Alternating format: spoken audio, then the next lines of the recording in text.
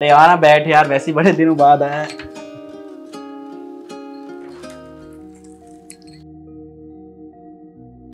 ये ले cold drink P. अरे हाँ तू भी तो पिए अरे भाभी आप नहीं पियोगी कोल्ड ड्रिंक नहीं आप आप पिए ना। अरे आप खड़े होके बैठो ना। अरे बैठ जाइए। अरे बैठो ना बैठते क्यों नहीं हो?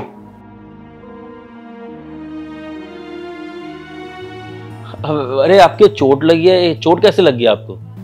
वो मैं ना बाथरूम में गिर गई थी। अरे बाथरूम में गिर गए थे।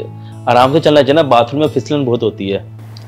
अरे यार घर में छोटी मोटी चोटें तो लगती रहती है। तू छोड़ा कोल्ड ड्रिंक पीना यार तू? अरे हाँ यार पी रहा हूँ बस। और सुना विनय किस काम से आना हुआ तेरे को? तू तो यार ईद का चाँद ही हो गया पूरा। अरे हाँ यार काफ़ी टाइम से मिले नहीं तो, तो सोचा कि तेरे से मिल ही लेता हूँ। और जब से कॉलेज पास आउट किया था तो ज़्यादा मिल नहीं पा रहे थे। उसके बाद मैं बेंगलोर चला गया, फिर सुनने में आया कि तू भी अब यहाँ नहीं रहता दिल्ली में, बाहर चला गया और जब तू वापस आया तो सुना तूने शादी कर ली।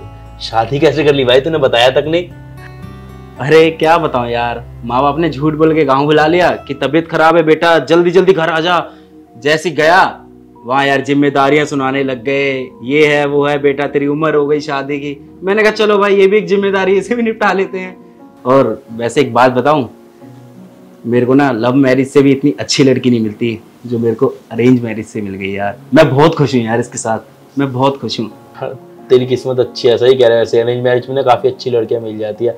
और ना गाँव के जो माँ बाप होते हैं ना सच में यार उनसे ड्रामेबाज कोई होता ही नहीं है। सही कह रहा है यार। अब भाभी एक गिलास आप पानी ले आएँगे?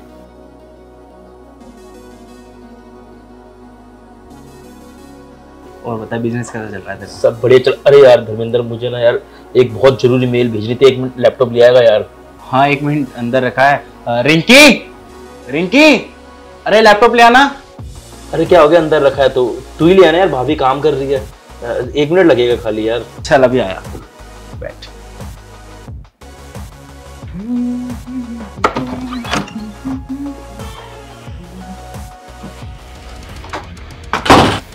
आप इधर आ जाइए। विनय गेट खोल। ये क्या बदतमीजी है? मैं जो कर रहा हूँ धर्मेंद्र मुझे करने दे। देख तू मेरा दोस्त है ड्रामेबाजी मत कर। गेट खोल एक बार में मैं बोल रहा हूँ ना। तेरे को जो करना है तू कर लियो बाद में लेकिन पहले मैं इनसे बात करना चाहता हूँ। मेरे को कुछ डाउट हो रहा है तेरे ऊपर। ठीक है ना? देख अगर इसने कुछ बोला ना तुझे तो इसको जहाँ से मार डालूँगा तुझे भी। ज़्यादा परेशान करे पुलिस को बुला दूँगा ठीक है ना? फिर तू भगतर रही हो जेल के अंदर बैठा हुआ। दो मिनट का टाइम देते मुझे बात करने दे। चल ठीक है। अब देख तू भी ना अपनी मौत का इंतज़ार करियो।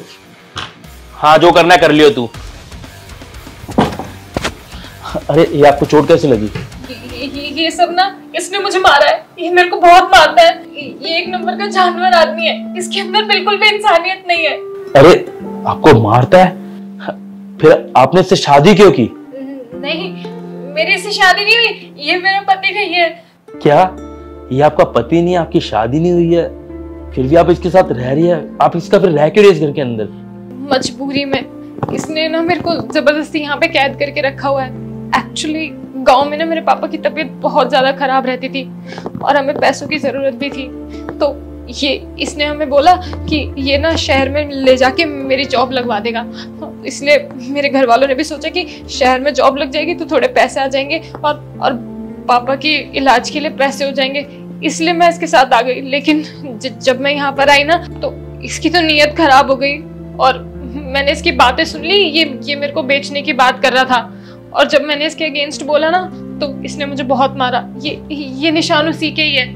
और तो और आज शाम को ना कुछ कुछ लोग भी आने वाले हैं मुझे खरीदने के लिए। आप बहुत सही टाइम पे आए हैं। आप आप प्लीज़ मेरी हेल्प कर दो। मेरी रिक्वेस्ट है आपसे। मुझे इस दलदल से निकाल लो प्लीज़ नहीं तो नहीं तो पता नहीं मेरे साथ क्या होगा। प्लीज़ प्लीज़ मैं आपसे रिक्वेस्ट कर रही हूँ। प्लीज़ मेरे को यहाँ से निकाल दो। यही तो आपकी सबसे बड़ी गलती है कि आपने आँखें बंद करके इजीली ट्रस्ट कर लिया। ऐसे किसी के ऊपर ट्रस्ट नहीं करना चाहिए। आप बिल्कुल ठीक कह रहे हैं। मैं आगे से कभी भी किसी के ऊपर ऐसे विश्वास नहीं करूँगी। बस आप प्लीज़ मेरे को अभी यहाँ से निकाल दीजिए प्लीज़ चलिए आप चिंता मत कीजिए। अभी थोड़ी देर में पुलिस आ जाएगी, मैं पुलिस को बुला देता हूँ, फिर ऐसे लोगों को सबक मिलेगा। तो दोस्तों, इस वीडियो के अंदर हमने यही बताने की कोशिश की है कि आपको हमेशा ना सावधान रहना चाहिए इजीली किसी के ऊपर ट्रस्ट नहीं करना चाहिए। क्योंकि ना, जब हम हम मजबूरी में होते हैं ना, मुसीबत में होते हैं तो हम इजीली किसी के ऊपर भी ट्रस्ट कर लेते हैं और खासकर लड़कियाँ और उनका ना नाजायज फ़ायदा उठाने की कोशिश की जाती है और ह्यूमन ट्रैफिकिंग की जाती है, ऐसी लड़कियों को बेच दिया जाता है और उनकी ज़िंदगी बर्बाद हो जाती है तो हम यही चाहते हैं कि कभी किसी के ऊपर इजीली ट्रस्ट ना करें। क्या नाम है, रिश्तेदार हो या आपके आस पड़ोसी हो, बिल्कुल आँखें बंद करके कभी ट्रस्ट मत करना। और ऐसी और भी अच्छी अच्छी वीडियोस हम आपके लिए लेके आते रहेंगे। हमारी स्ट्रेंथ आप हैं, आपकी शेयरिंग है तो वीडियो को शेयर ज़रूर करना फॉलो करना। मिलते हैं अगली वीडियो में, तब तक bye bye take care love you bye bye